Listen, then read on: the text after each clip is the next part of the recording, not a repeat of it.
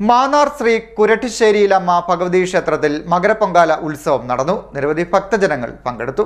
മാന്നാർ ശ്രീ കുരട്ടിശ്ശേരിയിലമ്മ ഭഗവതി ക്ഷേത്രത്തിലെ ആണ്ടുതോറും നടത്തി വരാറുള്ള പൊങ്കാല വിവിധ ചടങ്ങുകളോടെ നടന്നു.